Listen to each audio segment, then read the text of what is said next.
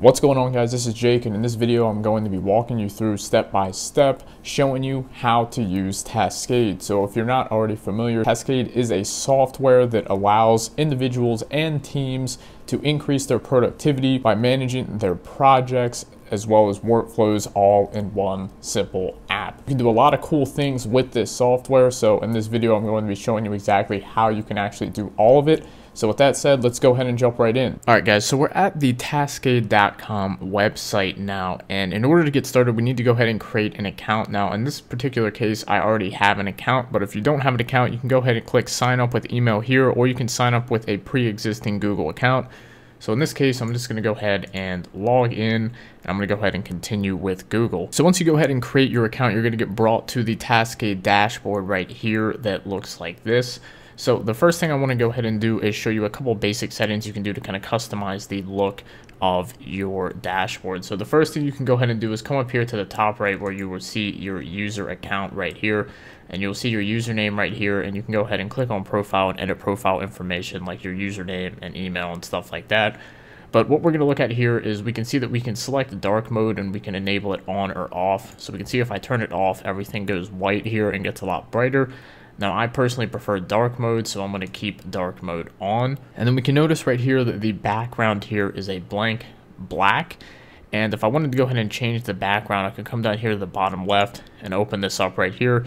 And we can see that Taskade has a lot of different uh, photos that we could go ahead and set as our background for this. Or we could go ahead and select blank colors like this. Or we can select random, and what this will do is it will randomize the photo each time we go ahead and log in. And if we wanted to go ahead and upload a custom photo, we could do that by clicking upload right here, and we could upload whatever we want as the background. Now, in my personal case, I prefer to just keep things simple, so that's why I have mine set to black. So now let's go ahead and get into how Taskade actually works. So Taskade is pretty much completely centered around things called workspaces right here. So you can see right here in this account, I've created two workspaces here, one for YouTube and one for a example client agency. So in this particular case here, different workspaces can be different businesses or different large projects projects that you have. Maybe you want to go ahead and manage um, some personal project in here, like say YouTube. So you create a workspace for that, and then maybe you have another workspace for something at work or something to do with business. So workspaces are essentially separate entities inside of Taskade. So inside of workspaces are things called subspaces and projects here. So we can see that inside of the client workspace, I have two subspaces, one for web design and one for marketing. So in this particular case, we can see here inside of this client business, there's two parts of the business. So there is the web design and there is the marketing. So in both these particular instances, you can go ahead and create a subspace for that. So I'm going to go ahead and show you how to do that now. So let's say I needed to create a third subspace for another part of this business. If I were to hover over the client workspace and click on new subspace, I could go ahead and let's just say this part of the business is consulting. So if I wanted to create a new subspace for that, we can go ahead and select a color for it, and then we just click new subspace. And then once we have the, the, subspace created, we can go ahead and invite different members to it that we already have inside of our workspace if we want to. So speaking of inviting members now, what we're going to go ahead and do is I'm going to show you how members work really quick. And if we come up here back to the client workspace and I click on invite people, we can see that I have two other members inside of this workspace with me. We have the example web developer and we have the example marketing manager. And if we go ahead and open this up, we can see the different roles that you can assign to people. So we can see that we can make other people admins, which means they can fully configure, edit projects, templates, and manage workspace settings. Then we have editors here that can just create and edit projects and templates, but they cannot manage the actual workspace settings. And then we have viewers that can only comment and chat in projects, but they can't edit anything. So we can see in this case, the most common setting you're probably going to be using is editor for most team members. So in order to invite people, you can go ahead and just, if they already have a Taskade account, you can go ahead and put their username in here. And if they don't, you can go ahead and put in their email here and they will get an invite link and then they just click the link and they are signed up and they can go ahead and be in your workspace. So the cool thing about Taskade is that when you have separate workspaces, you can have separate members in there. So we can see here in the client workspace, we have the web developer and the marketing manager in this workspace. But if I come over here to the YouTube workspace, which is more of a personal thing, we can see that I am just in here alone, so nobody else will be able to see what's inside this workspace. So you can go ahead and have workspaces for solo projects or workspaces for group projects. Now we're going to go ahead and take a look at how Taskade actually works inside of a workspace. So inside of workspaces and subspaces, you have things called projects, and projects are essentially what all of Taskade is built around right here.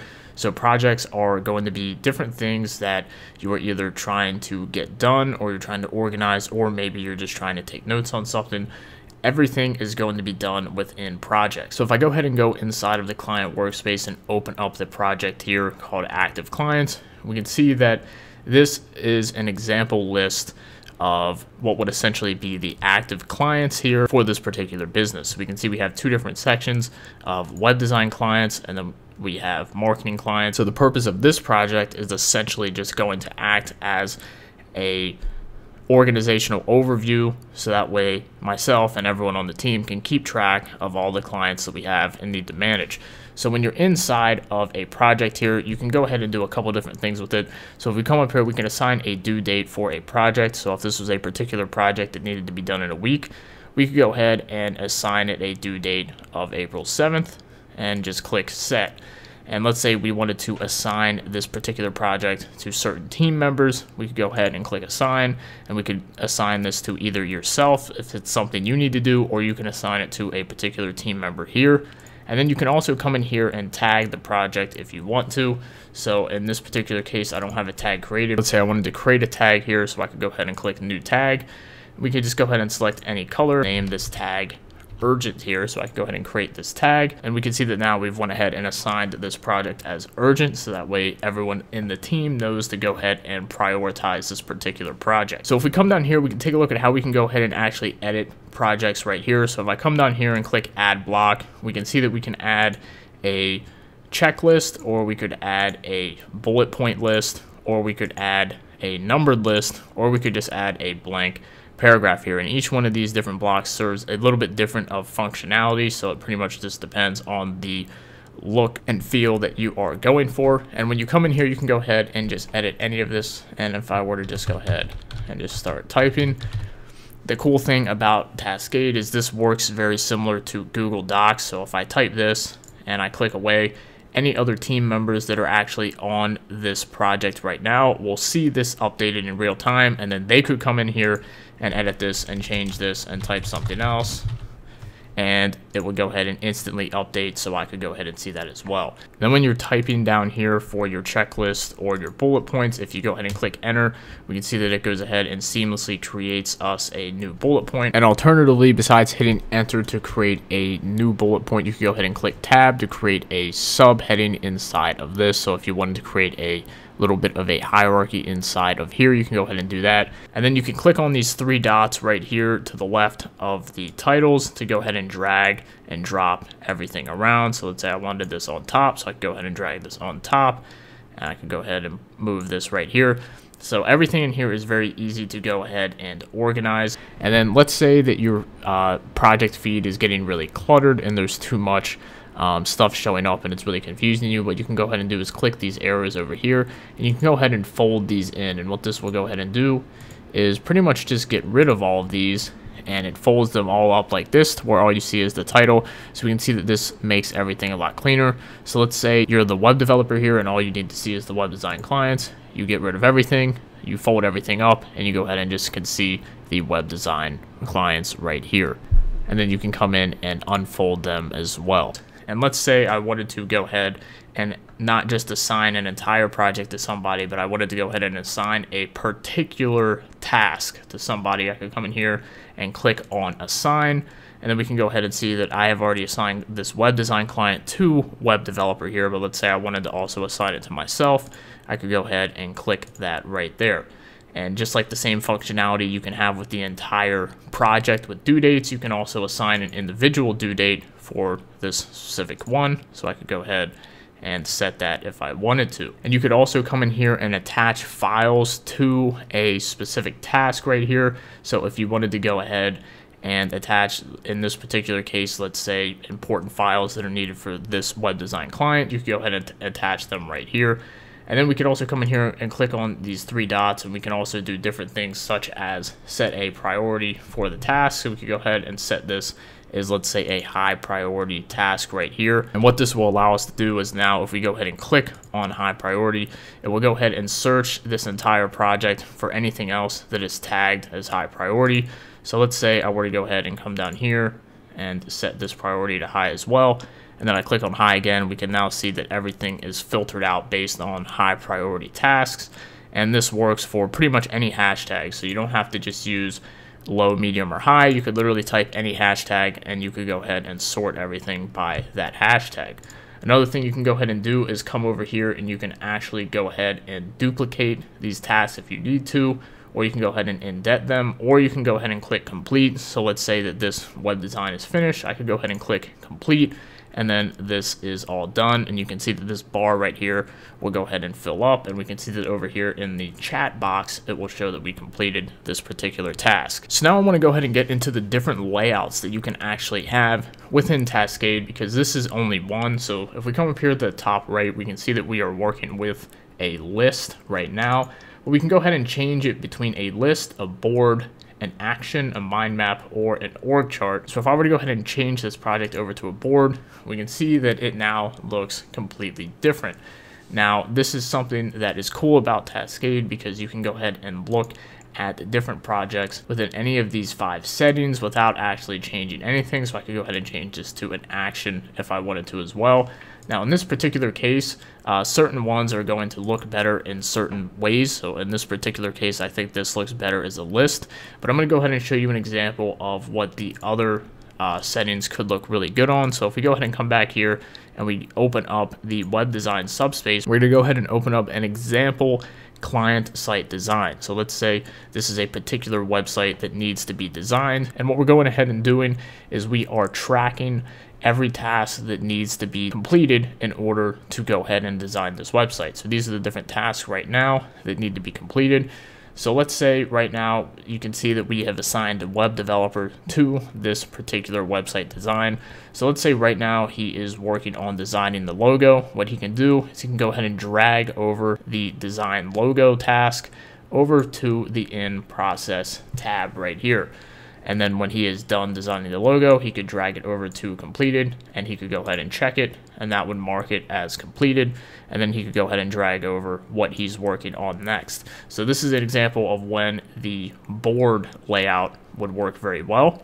And if we go ahead and come back here and we open up the marketing subspace right here, now if we go ahead and take a look at an example marketing client, we can go ahead and open up the mind map setting. So you can see right here we've assigned the marketing manager to this particular client and we can see that right now he has a overview of what he needs to do to go ahead and fulfill for this particular client.